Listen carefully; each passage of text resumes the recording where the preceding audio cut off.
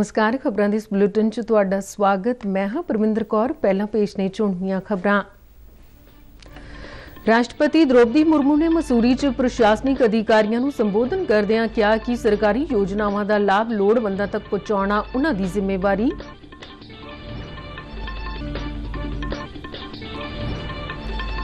Punjab BJP ਪ੍ਰਧਾਨ ਅਸ਼ਵਨੀ ਸ਼ਰਮਾ ਨੇ ਗੁਜਰਾਤ ਚੋਣਾਂ 'ਚ ਜਿੱਤ ਤੇ ਕਿਹਾ ਕਿ ਪ੍ਰਧਾਨ ਮੰਤਰੀ ਨਰਿੰਦਰ ਮੋਦੀ ਦੀ ਅਗਵਾਈ ਹੇਠ ਭਾਰਤ ਵਿਸ਼ਵ ਸ਼ਕਤੀ ਬਣ ਰਿਹਾ ਹੈ।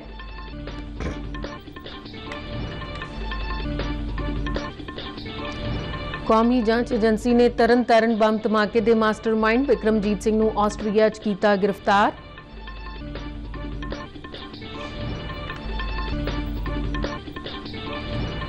ਮਹਿਲਾ ਕ੍ਰਿਕਟ 'ਚ ਭਾਰਤ ਅਤੇ ਆਸਟ੍ਰੇਲੀਆ ਵਿਚਾਲੇ 5 ਮੈਚਾਂ ਦੀ ਲੜੀ ਦਾ ਪਹਿਲਾ ਟੀ20 ਮੈਚ ਅੱਜ ਨਵੀਂ ਮੁੰਬਈ 'ਚ। ਹੁਣ ਖਬਰਾਂ ਵਿਸਥਾਰ ਨਾਲ। ਰਾਸ਼ਟਰਪਤੀ ਦ੍ਰੋਪਦੀ ਮੁਰਮੂ ਨੇ ਮਸੂਰੀ 'ਚ Lal Bahadur Shastri National Academy of Administration ਦੇ 97 ਫਾਊਂਡੇਸ਼ਨ ਕੋਰਸ ਦੇ ਸਮਾਪਤੀ ਸਮਾਗਮ ਨੂੰ ਸੰਬੋਧਨ ਕੀਤਾ। ਇਸ ਮੌਕੇ ਬੋਲਦਿਆਂ ਉਹਨਾਂ ਸਿਖਲਾਈ ਪੂਰੀ ਕਰਨ ਵਾਲੇ ਅਧਿਕਾਰੀਆਂ ਨੂੰ ਸ਼ੁਭਕਾਮਨਾਵਾਂ ਦਿੱਤੀਆਂ। ਰਾਸ਼ਟਰਪਤੀ ਨੇ ਆਸ ਪ੍ਰਗਟਾਈ ਕਿ ਇਹ ਅਧਿਕਾਰੀ ਜੁਟਤਾ ਦੀ ਭਾਵਨਾ ਨਾਲ ਦੇਸ਼ ਨੂੰ ਅੱਗੇ ਵਧਾਉਣ ਦੀ ਜ਼ਿੰਮੇਵਾਰੀ ਨਿਭਾਉਣਗੇ। ਰਾਸ਼ਟਰਪਤੀ ਨੇ ਕਿਹਾ ਕਿ ਆਪਣੇ ਸੁਪਨਿਆਂ ਦੇ ਭਾਰਤ ਨੂੰ ਤੁਸੀਂ ਆਪ ਹੀ ਅਮਲੀ ਜਾਮਾ ਪਹਿਨਾ ਸਕਦੇ ਹੋ। ਉਹਨਾਂ ਕਿਹਾ ਕਿ ਕਰਮ ਯੋਗ ਦੇ ਸਿਧਾਂਤਾਂ ਤੇ ਉਹਨਾਂ ਨੂੰ ਸਿਖਲਾਈ ਦਿੱਤੀ ਗਈ ਹੈ। ਰਾਸ਼ਟਰਪਤੀ ਨੇ ਕਿਹਾ ਕਿ ਦੇਸ਼ ਵਾਸੀਆਂ ਦੀ ਤਰੱਕੀ ਦਾ ਰਾਹ ਪੱਧਰਾ ਕਰਨਾ ਅਧਿਕਾਰੀਆਂ ਦੀ ਸੰਵਿਧਾਨਿਕ ਜ਼ਿੰਮੇਵਾਰੀ ਹੈ ਉਨਾਸ ਪ੍ਰਗਟਾਈ ਕਿ ਸਮਾਜ ਦੇ ਲਤਾੜੇ ਵਰਗਾਂ ਦੇ ਲੋਕਾਂ ਦੀਆਂ ਲੋੜਾਂ ਨੂੰ ਧਿਆਨ ਵਿੱਚ ਰੱਖਦੇ ਹੋਏ ਅਧਿਕਾਰੀਆਂ ਵੱਲੋਂ ਫੈਸਲੇ ਲਏ ਜਾਣਗੇ ਉਨ੍ਹਾਂ ਕਿਹਾ ਕਿ ਸਰਕਾਰੀ ਯੋਜਨਾਵਾਂ ਦਾ ਲਾਭ ਲੋੜਵੰਦਾਂ ਤੱਕ ਪਹੁੰਚਾਉਣਾ ਉਨ੍ਹਾਂ ਦੀ ਜ਼ਿੰਮੇਵਾਰੀ ਹੈ मुझे पूरा विश्वास है कि आप सामूहिक भावना से देश को आगे बढ़ाने की जिम्मेदारी निभाएंगे आप में से कई अधिकारी आने वाले 10-15 वर्ष तक देश के एक बड़े भाग का प्रशासक चलाए, प्रशासन चलाएँगे, आम जनता से जुड़े रहेंगे। आपके सपनों का भारत कैसा हो, इसको आप मूर्त रूप दे सकते हैं। ਉੱਤਰਾਖੰਡ ਦੇ ਦੋ ਦਿਨਾਂ ਦੌਰੇ ਤੇ ਬੀਤੀ ਸ਼ਾਮ ਰਾਸ਼ਟਰਪਤੀ ਦੇਹਰਾਦੂਨ ਪੁੱਜੇ ਸਨ। ਉਹਨਾਂ ਨੇ ਸਿਹਤ, ਬਿਜਲੀ, ਉਤਪਾਦਨ ਅਤੇ ਸਪਲਾਈ, ਤਕਨੀਕੀ ਸਿੱਖਿਆ ਤੇ ਟਰਾਂਸਪੋਰਟ ਨਾਲ ਸੰਬੰਧਿਤ ਵੱਖ-ਵੱਖ ਪ੍ਰੋਜੈਕਟਾਂ ਦਾ ਉਦਘਾਟਨ ਕੀਤਾ ਤੇ ਨੀਂਹ ਪੱਥਰ ਵੀ ਰੱਖੇ। ਪ੍ਰਧਾਨ ਮੰਤਰੀ ਨਰਿੰਦਰ ਮੋਦੀ ਨੇ ਕਿਹਾ ਕਿ ਗੁਜਰਾਤ ਅਤੇ ਹਿਮਾਚਲ ਪ੍ਰਦੇਸ਼ ਵਿੱਚ ਭਾਰਤੀ ਜਨਤਾ ਪਾਰਟੀ ਨੂੰ ਦਿੱਤਾ ਗਿਆ ਫਤਵਾ ਨਿਊ ਇੰਡੀਆ ਦੀਆਂ ਉਮੀਦਾਂ ਨੂੰ ਦਰਸਾਉਂਦਾ ਹੈ। ਨਵੀਂ ਦਿੱਲੀ 'ਚ ਬੀਜੇਪੀ ਦੇ ਮੁੱਖ ਦਫ਼ਤਰ 'ਚ ਵਰਕਰਾਂ ਨੂੰ ਗੁਜਰਾਤ ਅਤੇ ਹਿਮਾਚਲ ਪ੍ਰਦੇਸ਼ ਵਿਧਾਨ ਸਭਾ ਚੋਣਾਂ ਦੇ ਨਤੀਜਿਆਂ ਤੋਂ ਬਾਅਦ ਸੰਬੋਧਨ ਕਰਦਿਆਂ ਪ੍ਰਧਾਨ ਮੰਤਰੀ ਮੋਦੀ ਨੇ ਜ਼ੋਰ ਦੇ ਕੇ ਕਿਹਾ ਕਿ ਵਿਜ਼ਨ ਅਤੇ ਵਿਕਾਸ ਨਾਲ ਹੀ ਨੌਜਵਾਨਾਂ ਦੇ ਦਿਲ ਜਿੱਤੇ ਜਾ ਸਕਦੇ ਨੇ ਅਤੇ ਭਾਜਪਾ ਕੋਲ ਵਿਕਾਸ ਲਈ ਵਿਜ਼ਨ ਦੇ ਨਾਲ-ਨਾਲ ਵਚਨਬੱਧਤਾ ਵੀ ਹੈ ਉਨ੍ਹਾਂ ਕਿਹਾ ਕਿ ਗੁਜਰਾਤ ਦੇ ਲੋਕਾਂ ਨੇ ਭਾਜਪਾ ਨੂੰ ਭਾਰੀ ਫਤਵਾ ਦੇ ਕੇ ਸੂਬੇ ਦੇ ਇਤਿਹਾਸ ਦੇ ਸਾਰੇ ਰਿਕਾਰਡ ਤੋੜ ਦਿੱਤੇ ਨੇ इसलिए नरेंद्र जी जान से मेहनत करेगा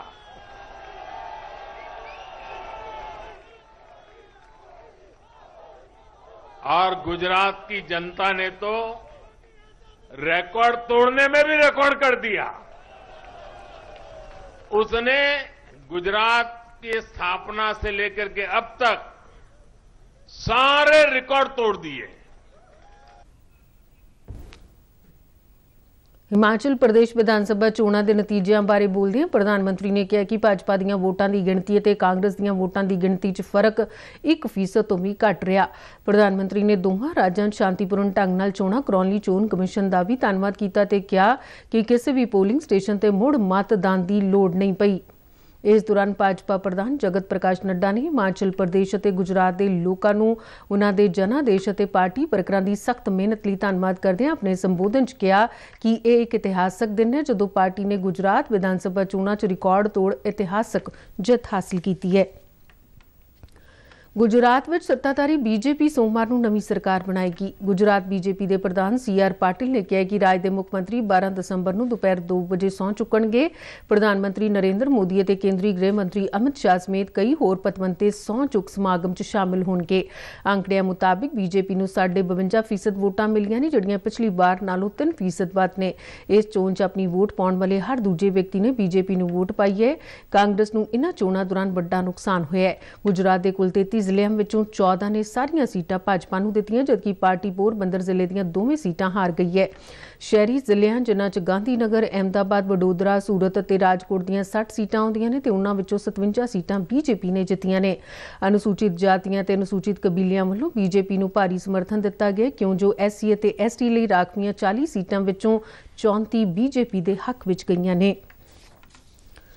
ਗੁਜਰਾਤ ਵਿੱਚ ਭਾਰਤੀ ਜਨਤਾ ਪਾਰਟੀ ਦੀ ਜਿੱਤ ਦੇ ਜਸ਼ਨ ਪੂਰੇ ਦੇਸ਼ ਵਿੱਚ ਮਨਾਏ ਜਾ ਰਹੇ ਨੇ। ਪਠਾਨਕੋਟ 'ਚ ਪੰਜਾਬ ਬੀਜੇਪੀ ਦੇ ਪ੍ਰਧਾਨ ਅਸ਼ਵਨੀ ਸ਼ਰਮਾ ਦੀ ਅਗਵਾਈ ਹੇਠ ਇਸ ਜਿੱਤ ਦੀ ਖੁਸ਼ੀ 'ਚ ਲੱਡੂ ਵੰਡੇ ਗਏ। ਇਸ ਦੌਰਾਨ ਵਰਕਰਾਂ ਨੇ ਇੱਕ ਦੂਜੇ ਦਾ ਤੇ ਆਮ ਲੋਕਾਂ ਦਾ ਮੂੰਹ ਮਿੱਠਾ ਕਰਵਾਇਆ। ਇਸ ਮੌਕੇ ਅਸ਼ਵਨੀ ਸ਼ਰਮਾ ਨੇ ਗੁਜਰਾਤ ਜਿੱਤ ਦਾ ਸਿਹਰਾ ਪ੍ਰਧਾਨ ਮੰਤਰੀ ਨਰਿੰਦਰ ਮੋਦੀ, ਗ੍ਰਹਿ ਮੰਤਰੀ ਅਮਿਤ ਸ਼ਾਹ ਤੇ ਪਾਰਟੀ ਪ੍ਰਧਾਨ ਜੇਪੀ ਨੱਡਾ ਨੂੰ ਦਿੱਤਾ। ਇਸ ਮੌਕੇ ਉਹਨਾਂ ਆਮ ਆਦਮੀ ਪਾਰਟੀ ਤੇ ਟਿੱਪਣੀ ਕਰਦਿਆਂ ਕਿਹਾ ਕਿ ਹੁਣ ਦੇਸ਼ ਦੀ ਜਨਤਾ ਸਾਹਮਣੇ ਆਮ ਆਦਮੀ ਪਾਰਟੀ ਦਾ ਚਿਹਰਾ ਬੇਨਕਾਬ ਹੋ ਚੁੱਕਾ ਹੈ। ਪੰਜਾਬ ਦੇ ਗਵਾਂਢੀ ਸੂਬੇ ਹਿਮਾਚਲ ਪ੍ਰਦੇਸ਼ ਵਿੱਚ ਉਹਨਾਂ ਦਾ ਖਾਤਾ ਵੀ ਨਹੀਂ ਖੁੱਲਿਆ। ਅਸ਼ਵਨੀ ਸ਼ਰਮਾ ਨੇ ਕਿਹਾ ਕਿ ਦੇਸ਼ ਦੇ ਪ੍ਰਧਾਨ ਮੰਤਰੀ ਨਰਿੰਦਰ ਮੋਦੀ ਦੀ ਅਗਵਾਈ ਹੇਠ ਵਿਸ਼ਵ ਸ਼ਕਤੀ ਬਣ ਰਿਹਾ ਹੈ। ਜਿਨ੍ਹਾਂ ਨੇ ਇਸ ਇਤਿਹਾਸਿਕ ਜਿੱਤ ਦੇ ਅੰਦਰ ਆਪਣਾ ਦਿਨ ਰਾਤ ਇੱਕ ਕੀਤਾ ਹੈ ਔਰ ਇਹਦੇ ਨਾਲ ਨਾਲ ਹਿਮਾਚਲ ਦੇ ਸਭ ਕਾਰਜਕਰਤਾ ਜਿਨ੍ਹਾਂ ਨੇ ਪਾਰਟੀ ਦੇ ਵਿਚਾਰ ਨੂੰ ਲੈ ਕੇ ਦਿਨ ਰਾਤ ਇੱਕ ਕਰਕੇ ਇਹ ਚੁਣਾਵ ਲੜਾਇਆ ਹੈ। ਗੁਜਰਾਤ ਇਸ ਕਰਕੇ ਵੀ ਵਿਸ਼ੇਸ਼ ਹੈ ਕਿ ਇੱਕ ਐਸੀ ਪਾਰਟੀ ਜਿਨ ਪਹਿਲਾਂ ਪੰਜਾਬ ਨੂੰ ਲੁੱਟਿਆ ਔਰ ਲੋਕਾਂ ਨਾਲ ਝੂਠ ਬੋਲਿਆ ਪ੍ਰਪੰਚ ਰਚਿਆ ਡਰਾਮਾ ਕੀਤਾ ਉਹ ਬੜੇ ਗਾਜੇ ਬਾਜੇ ਨਾਲ ਗੁਜਰਾਤ ਦੇ ਅੰਦਰ ਗਈ ਸੀ ਲੇਕਿਨ ਗੁਜਰਾਤ ਨਰਿੰਦਰ ਭਾਈ ਮੋਦੀ ਦਾ ਪ੍ਰਾਇਵਾਚੀ ਹੈ ਜੰਗਲਾਤ ਵਿਭਾਗ ਨੇ ਗੁਰਦਾਸਪੁਰ ਚ ਮਹਿਤਾਪੁਰ ਪਿੰਡ ਚੋਂ ਸਰਕਾਰੀ ਜ਼ਮੀਨ ਤੋਂ ਲੱਖਾਂ ਰੁਪਏ ਦੀ ਲੱਕੜ ਕੱਟ ਕੇ ਵੇਚਣ ਜਾ ਰਹੀਆਂ ਦੋ ਗੱਡੀਆਂ ਨੂੰ ਕਾਬੂ ਕੀਤਾ ਹੈ। ਜੰਗਲਾਤ ਵਿਭਾਗ ਦੇ ਕਰਮਚਾਰੀਆਂ ਨੇ ਲੱਕੜ ਚੋਰੀ ਕਰਨ ਵਾਲੀਆਂ ਗੱਡੀਆਂ ਨੂੰ ਪੁਲਿਸ ਵਿਭਾਗ ਦੇ ਹਵਾਲੇ ਕੀਤਾ। ਤੋਂ ਸੂਚਨਾ ਤੇ ਪਤਾ ਲੱਗਿਆ ਕਿ ਰਾਤ ਇਹਨਾਂ ਵੱਲੋਂ ਸਰਕਾਰੀ ਜੰਗਲ ਮਤਾਪੁਰ ਵਿੱਚੋਂ ਸਰਕਾਰੀ ਦਰਖਤ ਕੱਟ ਕੇ ਗੱਡੀਆਂ ਤੇ ਲੋਡ ਕਰਕੇ ਲਿਆ ਕੇ ਵੇਚਣ ਨੂੰ ਜਾ ਰਹੇ ਨੇ। ਅਸੀਂ ਫਿਰ ਸਾਰੇ ਸਟਾਫ ਦੀ ਮਦਦ ਨਾਲ ਨਾਕੇ ਲਾਏ ਰਸਤਿਆਂ ਦੇ ਵਿੱਚ, ਰਸਤਿਆਂ 'ਚ ਨਾਕੇ ਲਾਉਣ ਉਪਰੰਤ ਜਦੋਂ ਇਹ ਗੁਰਦਾਸਪੁਰ ਬਾਈਪਾਸ ਨੂੰ ਗੱਡੀਆਂ ਆਉਂਦੀਆਂ ਸੀ ਤਾਂ ਅਸੀਂ ਉੱਥੇ ਰਸਤੇ 'ਚ ਘੇਰਿਆ ਤੇ ਇਹਨਾਂ ਤੋਂ ਪੁੱਛ ਪੜਤਾਲ ਕੀਤੀ। ਪੁੱਛ ਪੜਤਾਲ ਕਰਨ ਉਪਰੰਤ ਇਹਨਾਂ ਨੇ ਸਾਨੂੰ ਦੱਸਿਆ ਵੀ ਇਹ ਲੱਕੜ ਜਿਹੜੀ ਅਸੀਂ ਸਰਕਾਰੀ ਜੰਗਲ ਮਤਾਪੁਰ ਵਿੱਚੋਂ ਹੀ ਕੱਟ ਕੇ ਲਿਆਂਦੀ ਆ। ਕੌਮੀ ਜਾਂਚ ਏਜੰਸੀ ਯਾਨੀ ਐਨਆਈਏ ਨੇ 2019 ਚ ਤਰਨਤਾਰਨ ਹੋਏ ਬੰਬ ਧਮਾਕੇ ਦੇ ਮਾਸਟਰਮਾਈਂਡ ਵਿਕਰਮਜੀਤ ਸਿੰਘ ਨੂੰ ਇੰਟਰਪੋਲ ਅਧਿਕਾਰੀਆਂ ਨਾਲ ਤਾਲਮੇਲ ਕਰਕੇ ਲੈਂਸ ਆਸਟ੍ਰੇਲੀਆ ਦੀ ਮਾਫ ਕਰਨਾ, ਆਸਟਰੀਆ ਦੀ ਸਮਰੱਥ ਅਥਾਰਟੀ ਵੱਲੋਂ ਹਵਾਲਗੀ ਤੋਂ ਬਾਅਦ ਗ੍ਰਿਫਤਾਰ ਕਰ ਲਿਆ ਹੈ। ਫਰਾਰ ਹੋਏ ਬਿਕਰਮਜੀਤ ਨੇ ਆਪਣੇ ਕਰੀਬੀ ਸਾਥੀਆਂ ਨਾਲ ਮਿਲ ਕੇ ਪੰਜਾਬ 'ਚ ਅੱਤਵਾਦੀ ਹਮਲੇ ਕਰਨ ਲਈ ਇੱਕ ਗਿਰੋਹ ਬਣਾਇਆ ਸੀ। ਐਨਆਈਏ ਨੇ ਉਸ ਨੂੰ ਭਾਰਤ ਵਾਪਸ ਲਿਆਉਣ ਲਈ ਇੱਕ ਵਿਸ਼ੇਸ਼ ਟੀਮ ਆਸਟਰੀਆ ਭੇਜੀ ਸੀ। ਐਨਆਈਏ ਵੱਲੋਂ ਜਾਰੀ ਬਿਆਨ 'ਚ ਕਿਹਾ ਗਿਆ ਕਿ ਵਿਕਰਮਜੀਤ ਨੂੰ ਮੋਹਾਲੀ ਵਿਚਲੀ ਐਨਆਈਏ ਦੀ ਵਿਸ਼ੇਸ਼ ਅਦਾਲਤ ਵੱਲੋਂ ਗੈਰ ਜ਼ਮਾਨਤੀ ਵਾਰੰਟ ਜਾਰੀ ਕੀਤੇ ਜਾਣ ਤੋਂ ਬਾਅਦ ਉਸ ਖਿਲਾਫ ਜਾਰੀ ਹੋਏ ਰੈੱਡ ਕਾਰਨਰ ਨੋਟਿਸ ਦੇ ਆਧਾਰ ਤੇ ਆਸਟਰੀਆ ਦੇ ਲਿੰਸ ਵਿੱਚ ਗ੍ਰਿਫਤਾਰ ਕੀਤਾ ਗਿਆ ਸੀ। ਕਾਨੂੰਨੀ ਕਾਰਵਾਈ ਪੂਰੀ ਹੋਣ ਤੋਂ ਬਾਅਦ ਲਿੰਸ ਰੀਜਨਲ ਕੋਰਟ ਆਸਟਰੀਆ ਨੇ ਗ੍ਰਿਫਤਾਰ ਦੋਸ਼ੀ ਬਿਕਰਮਜੀਤ ਸਿੰਘ ਦੀ ਹਵਾਲਗੀ ਕਰ ਦਿੱਤੀ। ਦੱਸਣਾ ਬਣਦਾ ਕਿ ਏਜੰਸੀ ਨੇ ਆਖਿਆ ਕਿ ਜਾਂਚ ਤੋਂ ਪਤਾ ਲੱਗੇ ਕਿ ਗ੍ਰਿਫਤਾਰ ਕੀਤੇ ਗਏ ਦੋਸ਼ੀਆਂ ਨੇ ਨਾ ਸਿਰਫ ਸਹਿ ਦੋਸ਼ੀ ਅਤੇ ਹੋਰਾਂ ਨੂੰ ਅੱਤਵਾਦੀ ਕਾਰਵਾਈਆਂ ਕਰਨ ਲਈ ਪ੍ਰੇਰਿਤ ਕੀਤਾ, ਸਗੋਂ ਵਿਸਫੋਟਕ ਯੰਤਰ ਬਣਾਉਣ ਅਤੇ ਉਹਨਾਂ ਦੀ ਵਰਤੋਂ ਕਰਨ ਲਈ ਸਿਖਲਾਈ ਵੀ ਦਿੱਤੀ। ਫਿਟ ਇੰਡੀਆ ਮੋਬਾਈਲ ਐਪ ਨੂੰ 1 ਸਾਲ ਦੇ ਅੰਦਰ ਹੀ 50 ਲੱਖ ਤੋਂ ਵੱਧ ਲੋਕਾਂ ਨੇ ਡਾਊਨਲੋਡ ਕੀਤੇ। ਇਸ ਐਪ ਨੂੰ ਕੇਂਦਰੀ ਖੇਡ ਮੰਤਰੀ ਅਨੁਰਾਗ ਸਿੰਘ ਠਾਕੁਰ ਵੱਲੋਂ ਆਜ਼ਾਦੀ ਕਾ ਅੰਮ੍ਰਿਤ ਮਹੋਤਸਵ ਨੂੰ ਸਮਰਪਿਤ ਕਰਦੇ ਹੋਏ ਪਿਛਲੇ ਸਾਲ 29 ਅਗਸਤ ਨੂੰ ਲਾਂਚ ਕੀਤਾ ਗਿਆ ਸੀ। ਇਸ ਐਪ ਦੀ ਵਰਤੋਂ ਸਕੂਲ ਜਾਣ ਵਾਲੇ ਬੱਚਿਆਂ ਵੱਲੋਂ ਸਰੀਰਕ ਫਿਟਨੈਸ ਦਾ ਮੁਲਾਂਕਣ ਕਰਨ ਫਿਟਨੈਸ ਸੰਬੰਧੀ ਜਾਗਰੂਕਤਾ ਫੈਲਾਉਣ ਫਿਟ ਰਹਿੰਦੇ ਹੋਏ ਪਾਣੀ ਅਤੇ ਕੈਲੋਰੀ ਦੀ ਸੁਚੱਜੀ ਵਰਤੋਂ ਕਰਨ ਸੰਬੰਧੀ ਫਿਟਨੈਸ ਨਾਲ ਜੁੜੇ ਸਵਾਲ ਜਵਾਬ ਮੁਕਾਬਲਿਆਂ 'ਚ ਹਿੱਸਾ ਲੈਣ ਦਾ ਬਦਲ ਵੀ ਮੁਹੱਈਆ ਕਰਵਾਇਆ ਗਿਆ ਇਹ ਐਪ ਐਂਡਰੋਇਡ ਅਤੇ ਆਈਓਐਸ ਪਲੇਟਫਾਰਮ ਤੇ ਹਿੰਦੀ ਅਤੇ ਅੰਗਰੇਜ਼ੀ ਭਾਸ਼ਾ 'ਚ ਉਪਲਬਧ ਹੈ। ਇਸ ਐਪ ਨੂੰ ਵਿਸ਼ਵ ਸਿਹਤ ਸੰਗਠਨ ਵੱਲੋਂ ਵੀ ਮਾਨਤਾ ਦਿੱਤੀ ਗਈ ਹੈ ਇਹ ਐਪ ਵਰਤੋਂ ਕਰਨ ਵਾਲੇ ਨੂੰ ਫਿਟਨੈਸ ਨਾਲ ਜੁੜੇ ਸੁਝਾਅ ਵੀ ਦਿੰਦਾ ਹੈ ਇਸ ਵੇਲੇ 250 ਤੋਂ ਵੱਧ ਸਿਹਤ ਜਾਗਰੂਕਤਾ ਫੈਲਾਉਣ ਵਾਲੇ ਮਾਹਿਰ ਇਸ ਐਪ ਨਾਲ ਜੁੜੇ ਹੋਏ ਨੇ।